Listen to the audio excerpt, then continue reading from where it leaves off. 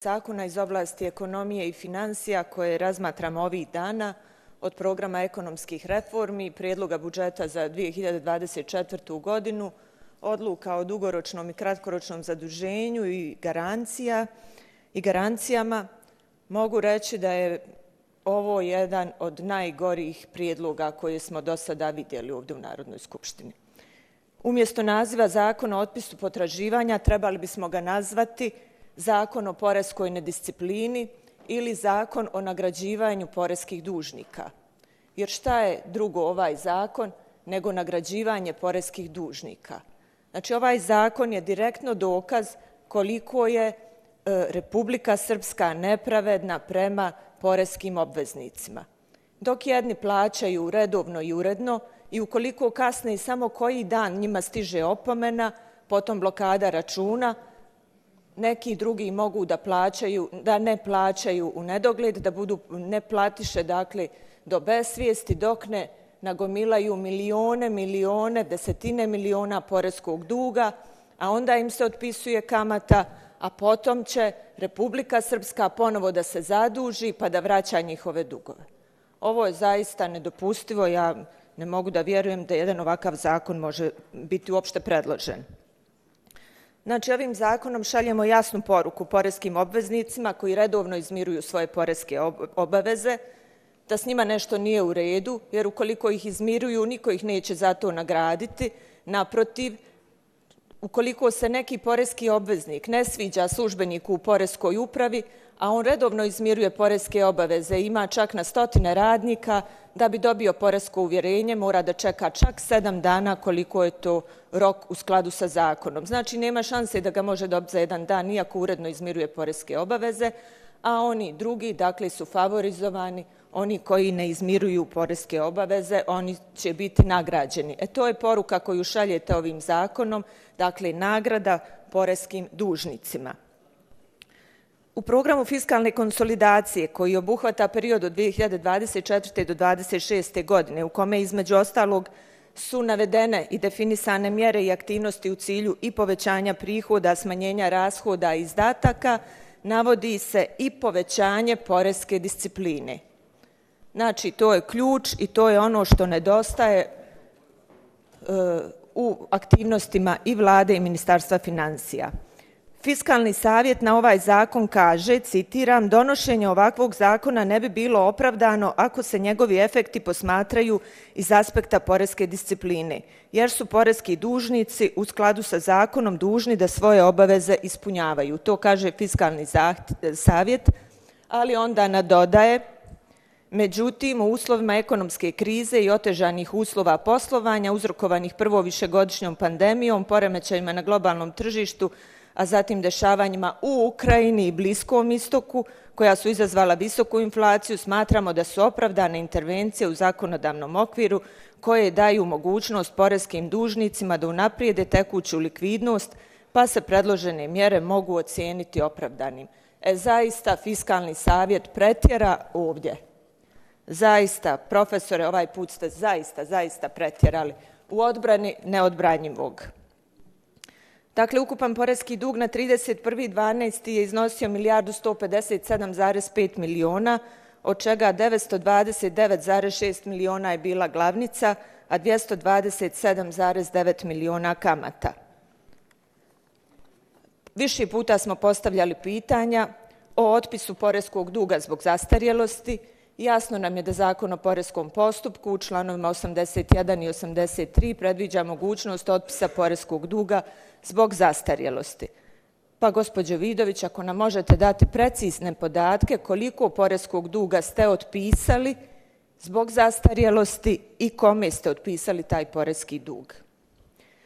E, među prvih deset najvećih poreskih dužnika na kraju marta 2023. godine bili su navedeni Univerzitetsko-klinički centar 50,3 miliona maraka, bolnica Istočno Sarajevo 43,8 miliona, bolnica Sveti apostol Luka Doboj 29,3 miliona, Univerzitetska bolnica Foča 16,4 miliona maraka, Unis fabrika cijevi Derventa u stečaju 16,2 miliona, bolnica Gradiška 15,4 miliona, bolnica Sveti Vračevi Bijeljina 14,2 miliona, Doboj putevi u stečaju 11,7 miliona, bolnica Mladen Stojanović Gradiška 9,3 miliona i nova forma DO Doboj 9,1 milion.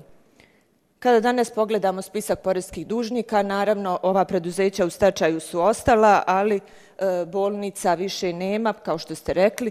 Odlukom vlade zaključen je sporazum o odgođenom plaćanju porezkog duga.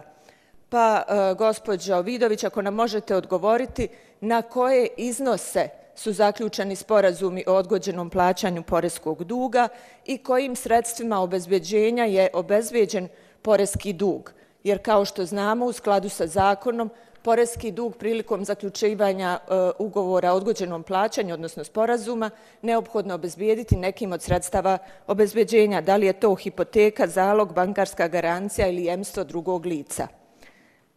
E, želim samo podsjetiti na izvještaj Glavne službe za reviziju javnog sektora Republike Srpske, gdje je e, navedeno da je e, također ministar financija u 2021. godini otpisala 10,7 miliona poreskog duga sa kamatama i tu je navedeno da pojedini poreski dužnici za koja je rješenja donio ministar financija po zaključcima vlade Republike Srpske nisu obezbijedili dug propisanim sredstvima obezbijeđenja koje sam malo prije navela, da su ostvarili pravo na odgađanje poreskog duga više puta za isti dug, a nisu im ukinuta prethodna rješenja o odgađanju plaćanja poreskih obaveza po kojima nisu izmirivali obaveze u skladu sa članom 10 stav 4 zakona i ostvarili su pravo na odgađanje plaćanja poreskog duga, iako po prethodno donesenim rješenjima ne izmiruju uredno obaveze. Dakle, to stoji između ostalog u izvještaju Glavne službe za reviziju javnog sektora Republike Srpske. Prema informacijama koje su dakle bile dostupne javnosti, jasno nam je da prije samo nekoliko mjeseci ubjedljivo najveći dužnici su bili javne zdravstvene ustanove.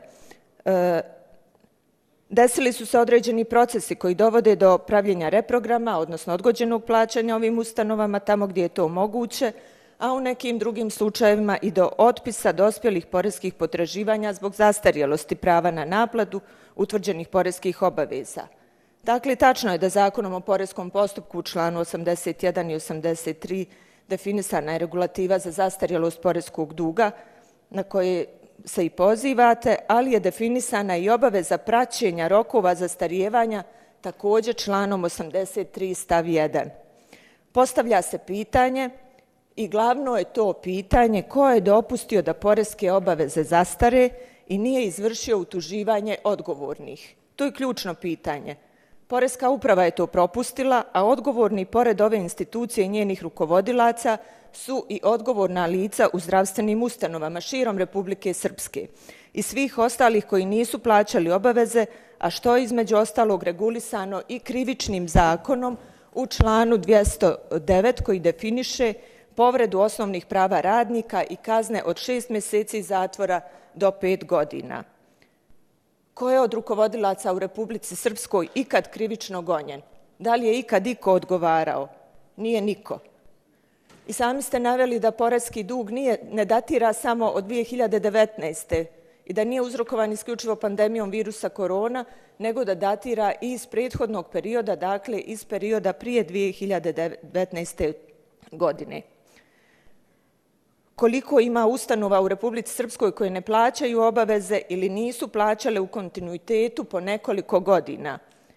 Ima ih jako mnogo, a vi, gospođo Vidović, dobro znate koliko. Štitite jedni druge krijući se iza kolektivnih odluka vlade Republike Srpske, ali treba vas podsjetiti da je svaki zakon stariji od bilo koje odluke kolektivnog organa i da kad tad za takve stvari ćete odgovarati. Molim vas. Poreska uprava dužna je u skladu sa članom 4 zakona o poreskom postupku Republike Srpske dati podatke između ostalog i jedinicama lokalne samouprave i organima uprave i nadležnim sudovima i tužilaštvima. U članu 12 Nadležnosti Poreske uprave e, definisano je vođenje prvostepenog postupka koji vodi Poreska uprava, kao i obaveza da radi redovnu i prinudnu naplatu poreza iz porednih poreskih davanja. Izvinjavam se, gospođo Rašani, u ime kluba. E, u ime kluba, da. Drugostepeni poreski postupak takođe je propisan u skladu sa članom 106 ovog zakona i vode ga službena lica ministarstva u skladu sa ovim zakonom i zakonom kojim se uređuje opšti upravni postupak. Kada ovo povežemo sa odlukom o oslobađanju zastarjelih poreskih potraživanja, dolazimo do zaključka da su odgovorna lica propustila u skladu sa svojim nadležnostima naplatiti ogromne iznose novca širom Republike Srpske od različitih poreskih obveznika, a najčešće državnih i javnih institucija, te voditi računa o njihovoj zastarjelosti kroz postupak blokiranja računa, prinudne naplate i drugih mehanizama, naplatiti poreske obaveze. Poštovana gospodo, ovakvim postupcima vi iz vlade i Ministarstva financija ste između ostalog oštetili lokalne zajednice širom Republike Srpske za milione konvertibilnih maraka. I umjesto da ste redovno naplaćivali poreski dug, mi danas moramo da se zadužujemo, donosimo odluke o milionskim zaduživanjima po najvišim mogućim kamatnim stopama kako bismo preživjeli. Time ne preživljava samo vlada, nego svi građani, jer veliki dio budžeta ide upravo za socijalna davanja. Iako možete u konačnici nam odgovoriti kako je moguće da neko ne plaća poreze i doprinose. Ako je zakonom o doprinosima lijepo propisano da je rok za plaćanje 60 dana ukoliko se ne isplaćuje plata, ukoliko se isplaćuje trenutak isplate ličnih primanja i trenutak plaćanja poreza i doprinosa. Svi oni koji kasne, to dobro znam iz prakse, automatski dobijaju opomene i u roku od sedam dana od opomene dužni su uplatiti. Pa kako neko godinama ne plaća? Eto kako je moguć, taj moment je ključan. Ako možete objasniti kako je to moguće i kada ćete pozvati na odgovornost sve one koji su oštetili budžet Republike Srpske neplaćanjem poreskih obaveza. Ako mislite da ćete dobiti podršku za ovakav zakon, sigurno nećete dobiti od strane e, našeg kluba, a sa druge strane nećete dobiti podršku ni za zaduživanje da bi se vraćali ovi dugovi. Jer Republika Srpska će morati ponovo da se zaduži da bi izmirila dug i e, ovih bolnica, jer kako će oni izmiriti dug do juna ove godine, to je apsolutno nemoguće. Za, takvu, za takve odluke nećete dobiti našu podršku. Toliko.